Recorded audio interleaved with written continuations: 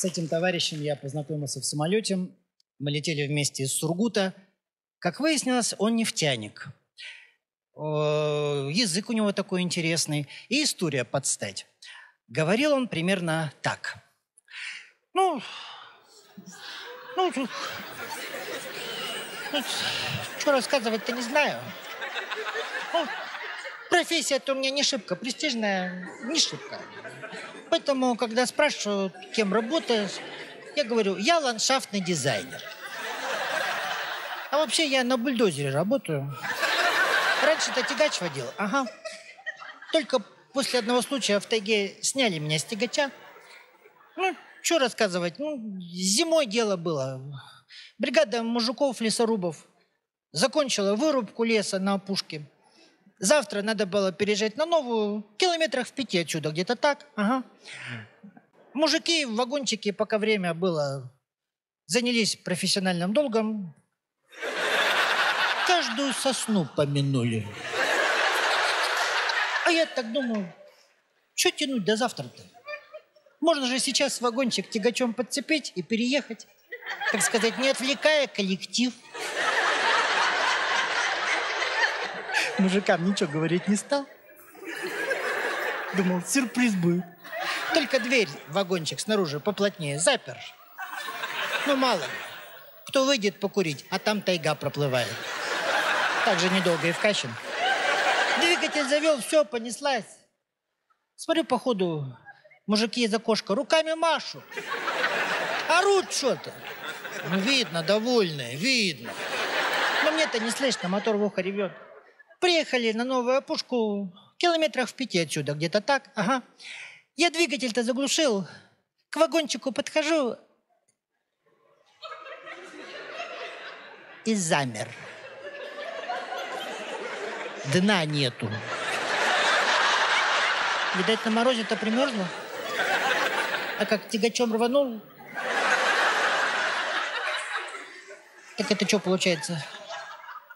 Мужики все это время бежали внутри вагончик. Я еще стою и думаю, что-то признаков веселья не наблюдается. Еще внутренний голос не то чтобы говорит, орет. Не надо дверь открывать. Мало ли. Может, спят люди. Когда смотрю в окошке, голова бригадира показалась смотрит на меня в упор и не моргает. Седой весь. Осадился-то лысым. Я говорю, Николай Кузьмич, эге, ну с приездом.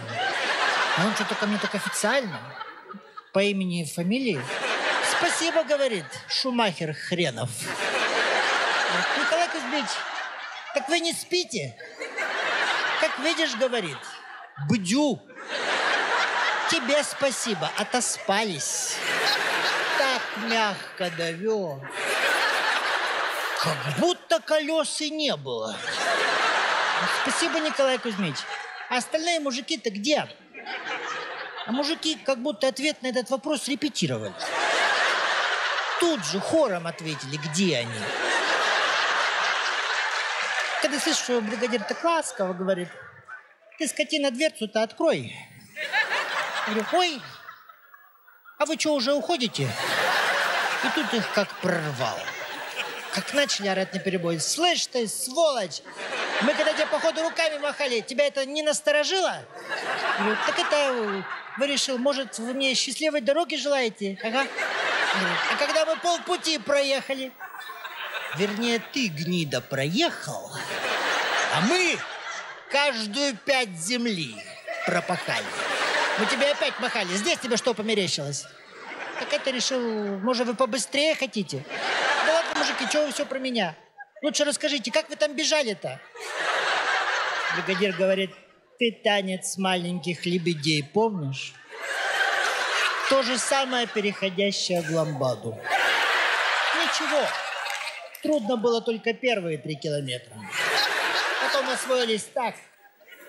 Коробченко с Михайловым даже на бегу в картишки перебросились. Ты дверь откроешь, нет? Я говорю, мужики, А смысл? Простите, сразу-то говорить не хотел.